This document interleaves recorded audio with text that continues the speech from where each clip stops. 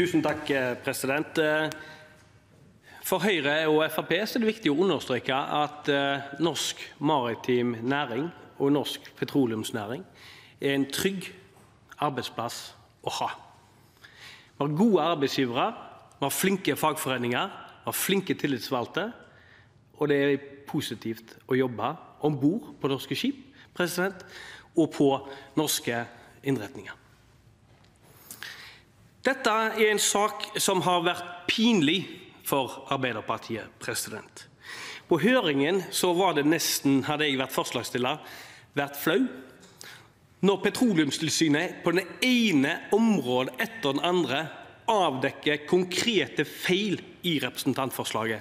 Det er ganske uvanlig president, å oppleve. Det kan være sånn at uh, Arbeiderpartiet er blitt mer slurvete under Jonas Gahr Støres ledelse. Jeg tror ikke dette forslaget hadde sluppet igjennom dersom Jens Stoltenberg hadde ledet Arbeiderpartiet i dag. Her var det slurvete, det var unøyaktig og det var uforsvarlig. president. Det gikk så langt at Rederiforbundet hevda at disse feilene var så alvorlige at hele forslaget var basert på feil premisser. Norsk industri hevda konsekvenser som var så dramatiske at det ikke burde bli vedtatt. Og Norsk olje og gass påsto at dette hadde så svære konsekvenser på økonomi og på rigg og på skip at det burde ikke vedtas i det hele tatt. Og det var ikke hvem som helst. president. Det var tidligere Ap-statsråd som rista på hodet over Arbeiderpartiet i høringen og underveis, og tidligere statssekretær for Arbeiderpartiet som også gjorde det.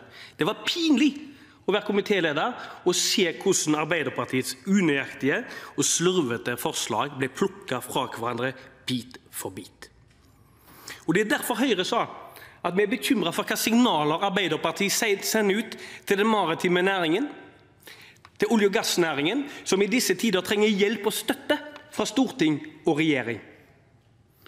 Og Arbeiderpartiet sår også tvil president, om NIS-regelverket, som nå fører til en massiv innflagging av norskeide skip, også på norsk sokkel.